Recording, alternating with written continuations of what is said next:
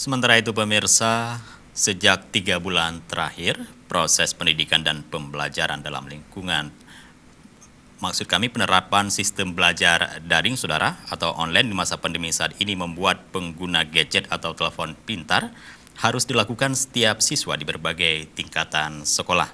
Dan hal ini ternyata menimbulkan persoalan baru jika tanpa pengawasan dari orang tua. Jika pada tahun sebelumnya penggunaan gadget tidak disarankan atau dibatasi pada anak, namun kini dengan sistem belajar daring setiap anak dituntut memahami penggunaan gadget dan sejumlah aplikasi untuk mempermudah proses belajar. Sebagai media yang terhubung dengan jaringan internet dan informasi global, penggunaan gadget oleh anak-anak sangat membutuhkan pengawasan dari orang tua.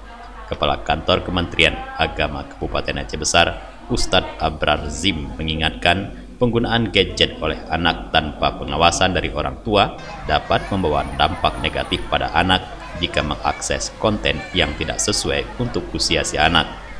Kita terasa bahwa selama pandemi COVID, penggunaan gadget atau HP bagi anak-anak itu mobilitasnya tinggi. Tentu tujuannya adalah untuk pembelajaran. Maka kita menghimbau kepada orang tua untuk mengantisipasi ini, mengingatkan anak jadi tidak lalai dengan gadget tersebut, betul-betul digunakan untuk belajar. Jadi semua kita bertanggung jawab untuk mengatas antisipasi ini. Kita yakini bahwa selama ini untuk situs-situs yang tidak baik itu sudah diblokir pemerintah. Jadi murni bahwa untuk jaringan internet itu untuk belajar.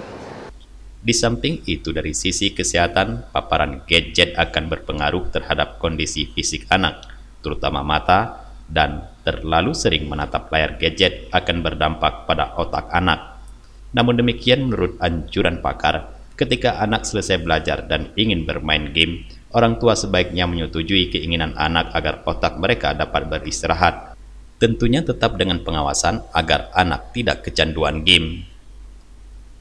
Dari Aceh Besar, Tim Liputan Aceh TV melaporkan.